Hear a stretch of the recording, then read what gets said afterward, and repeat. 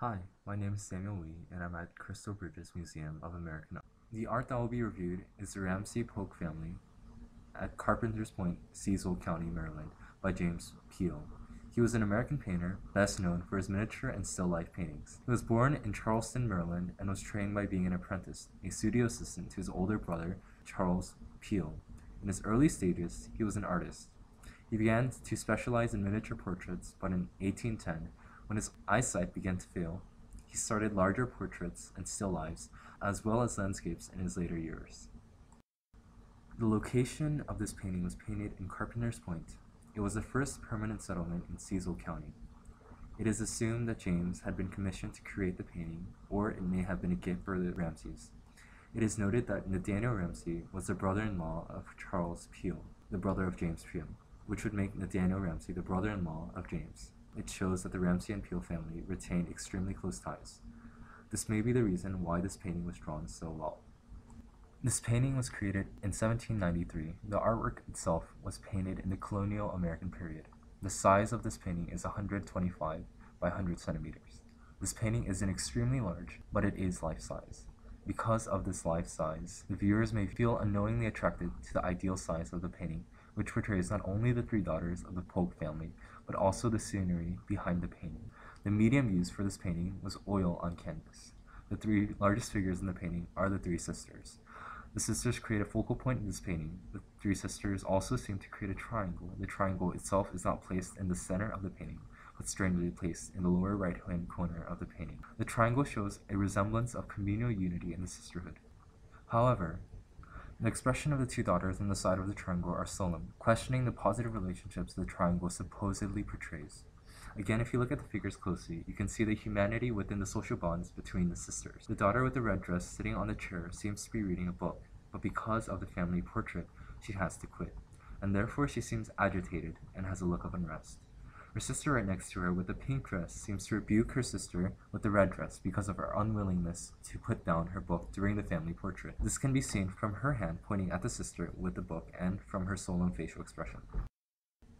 The last daughter in this painting is the one with the blue dress. She is depicted to be the most mature about the whole feud, seems to reside over the two sisters. At the same time, she seems very nonchalant and implies that she is enjoying this quarrel. Her posture also resembles the posture of Venus in The Birth of Venus by Botticelli. However, there's much more differences than similarities. Venus is in the center of the painting, while the daughter in the blue dress is only in the center of the triangle. The proportions of Venus are prolonged and overdone, while the daughter is portrayed with the correct human proportion. Venus is naked, while the daughter is not. Peale uses strong color contrast between the bright colors used on the three sisters and their dresses with the background depicting a scene of a storm approaching. The use of gloomy colors within the background may also attribute to the awkward relationships among the three sisters in their quarrel. Peale uses long diagonal strokes in the background and smaller linear strokes in the figure. However, his brush strokes are very precise and drawn with meticulous detail. This can be seen especially from the middle daughter in the blue dress. The painstaking amount of detail from the three daughters are astounding. This can be seen from the delicately drawn attire and the folds themselves in each of the dresses. From what the daughters are wearing, we can assume that the Ramsay family is very wealthy. The warm colors show Peale's interest in the use of color to set a unique mood in the painting. Elaborate rendering of the background also reveals Peale's interest in the study of landscape. The background reveals a busy landscape port for the vessels hauling goods and passengers. This portrays Cecil County in the 1800s. With a hazy background, Peale uses the technique of sfumato on the hills. Peale painted the clouds by contrasting light and dark to add a sense of reality. He uses the perspective in the picture plane, creating the illusion of space within the painting very well.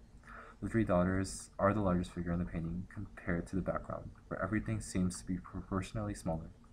This creates the image of three-dimensional space. The main focus is on the three sisters. The proportion of the three sisters compared to everyone else in the painting, including the workers and sailors, shows the importance in the three sisters' social status visually through the wealth displayed in their attire, as well as their proportionally large size compared to everything else. One of the paintings that are similar to the Ramsay Polk family at Carpenter's Point is Mrs. Theodore Atkinson, Jr., a painting done by John Copley. They are both from the same time period, however they are different in many ways. Copley's painting has a sense of realism in its use of detail. This can be seen in the face of the woman who is painted with extreme detail, while Peale seems to depict this figure more loosely. In Copley's painting, he uses chiaroscuro more vividly than Peale. Peale, however, is keener in depicting the landscape than in Copley's painting.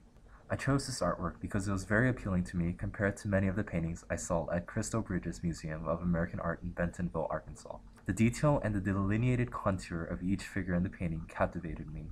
The color Peale used to paint each figure was unique. This painting was aesthetically pleasing, and the more I stared at this painting, the more interesting it became, and that is why I chose this painting.